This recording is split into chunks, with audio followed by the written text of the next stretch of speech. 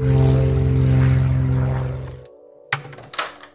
must be Kyle. We're the Andersons. I'm Joan. This is Fred.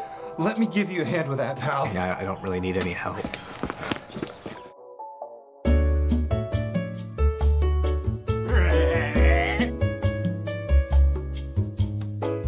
The pictures do not do this justice. Our home is your home. Don't touch! Don't get near me!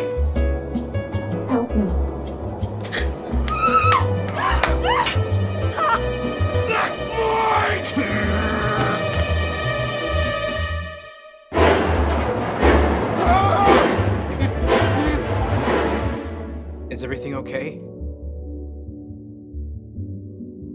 Welcome to Chez Anderson.